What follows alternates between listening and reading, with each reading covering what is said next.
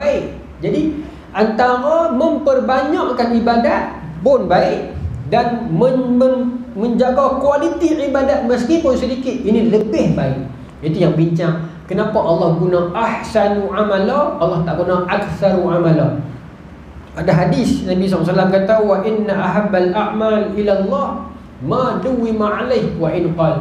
Amalan yang paling Allah sayang ada pada seseorang hamba itu amalan yang dawam, yang istiqamah wa in qal. Walaupun amalan itu sikit. Ya, walaupun sikit tapi dia istiqamah, Allah lebih sayang amalan itu.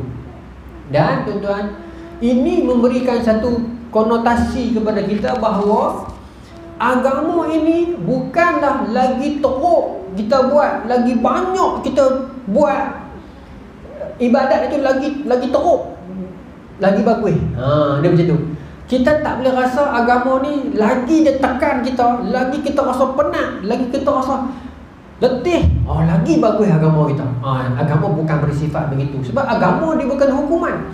Agama dia cara hidup. Agama dia panduan. Agama dia mengeluarkan kita daripada penyembahan sesama manusia, sesama hamba Kepada penyembahan kepada Allah yang Esa. Agama adalah Tauhid. Agama adalah kemerdekaan Jadi agama bukan datang untuk tekan kita Bagi kita letih, bagi kita penat Sampai kita rasa seksa dah Maka kita rasa inilah sebaik-baik agama Itu bukan sifat agama Ha?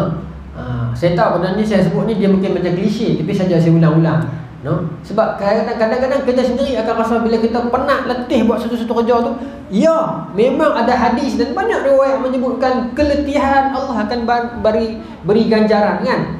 Apa nama ni? Apa ni yang sebenarnya sebut sebelum ni. Ma yusibal mu'min min wasabin wala nasabin wala saqamin wala hazanin hatta alhamiyahumuhu illa kufira bihi min sayiatihi. Memang dalam disebutkan kesakitan, kedukaan, kesedihan, kepenatan Allah akan hapuskan dosa. Benar. Ya, benar. Tetapi bukanlah bermaksud agama ini dengan mencari letih Itu sebagai tanda lagi letih kita Lagi kuat ah, Lagi betul agama itu. Ha, Itu bukan sifir dia. Meskipun letih itu boleh ha, Tak salah memang okey lah Letih dalam beribadat. Tetapi maksud saya Bukan mencari letih dan bukan bermaksud lagi letih aku lagi kuat agama aku. Ha macam tu.